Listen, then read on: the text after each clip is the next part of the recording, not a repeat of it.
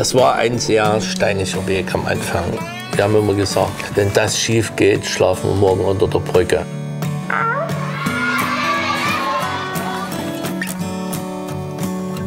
Das Schöne an meinem Beruf sind sicherlich die Orte, an denen ich arbeiten darf.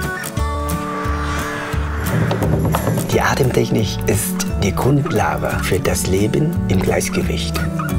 Das ist ein Forschungsprojekt für mich selbst.